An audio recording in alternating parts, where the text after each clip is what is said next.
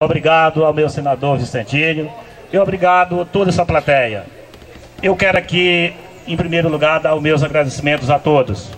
E dizer, senador, nós estamos aqui, Nego Marco e Ari, confiado no senhor, que vai nos ajudar a partir do dia 1 de janeiro, porque eu tenho certeza que com esse povo, com essa garra, com toda essa multidão que aqui se encontra, que esses só são só os soldados, o resto estão esperando para as, as horas mais principais. E eu tenho certeza que a partir do dia 7 de outubro, do dia 7 de outubro, nós temos a vitória. E consequentemente, a partir do dia 1 de janeiro, nós contamos, possamos contar com a ajuda do, do, do, do senador Vicentinho e de mais pessoas. Porque nós precisamos trabalhar aqui nessa cidade, não só no setor Paraíso, mas também no, no, setor Tiradentes, mas também no centro da cidade, mas também trazer pavimentação, mas também melhorar a estrada na zona rural, mas também fazer muitas coisas que aqui nos está precisando. Em primeiro lugar, nós queremos trazer aqui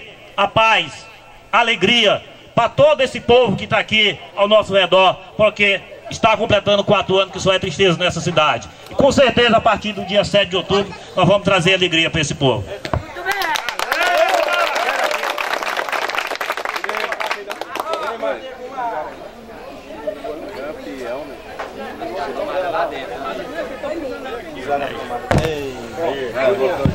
Quero aqui agradecer a boa vontade do meu senador Vicentinho e, e, e nos advertir e dizer, a partir do dia 1 de janeiro, eu e Ari Almeida vamos estar no seu gabinete